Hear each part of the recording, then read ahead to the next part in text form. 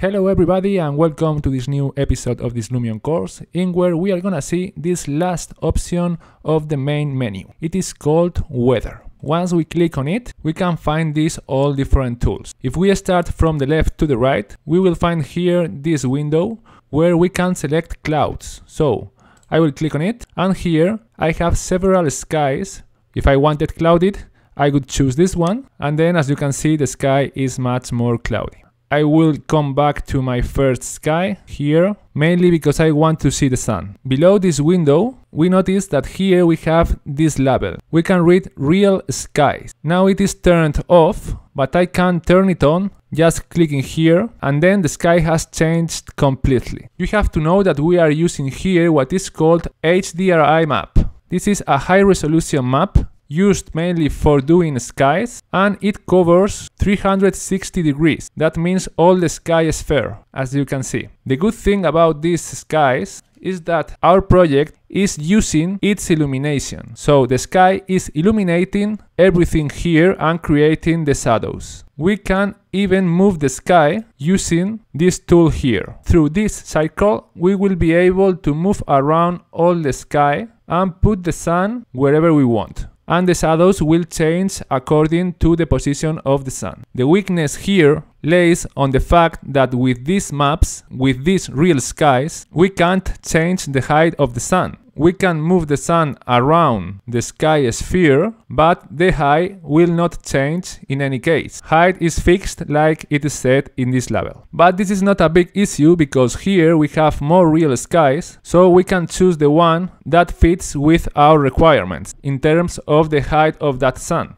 For example, if we want our project in the morning, we should go here to morning morning 3 and then the sky will be much lower. If we want, for example, to create a sunset atmosphere, then I'll click here, I'll choose for example this one and we will enjoy this kind of light and of course we will be able to change the rotation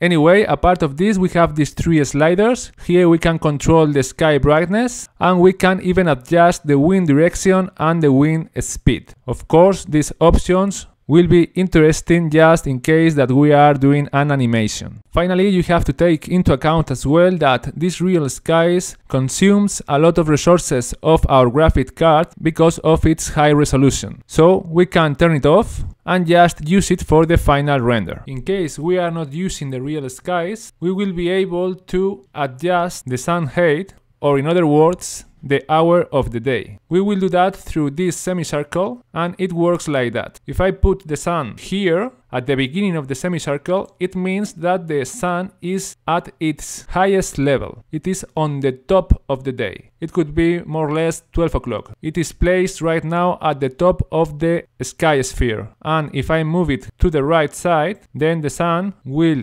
gradually move down till we get to this frontier, which actually could be either the sunrise or the sunset. I have to release the button for having a better look about what is going on. And here we are. In case I move farther to this frontier, then night would come, and the more to the right I go, the darker the night is.